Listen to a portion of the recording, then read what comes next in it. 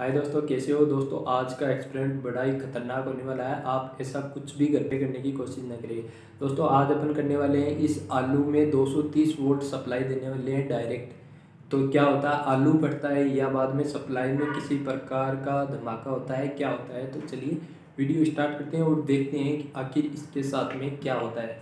तो मैं पूरा सेटअप तैयार है और अभी स्टार्ट करते हैं वीडियो और देखते हैं क्या होता है।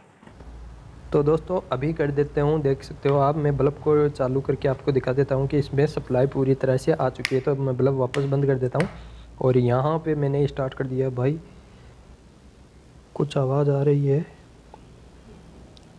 देख सकते हो, स्पार्क भी कर रहा है धीरे धीरे से कुछ।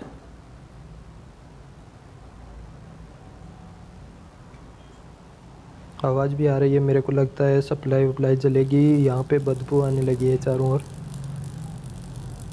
यार, ये क्या हो रहा है? अभी इतनी स्पार्क हो रहा है भाई साहब।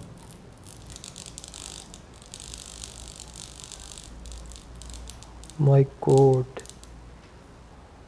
अबे लाइट कैसे चली गई यार? ये क्या हुआ? ओ भाई। तो दोस्तों, यहाँ पे घर की जो सारी सप्लाई है, वो जल चुकी है और कुछ इस प्रकार का सीन यहाँ पे हो चुका है, देख सकते हो। जो मेरा ये आलू है, वो अंदर से कुछ इस प्रकार से जल गया जहाँ पे मैंने वायर डाले थे। तो ऐसा कुछ भी घर पे बिल्कुल भी ना करें।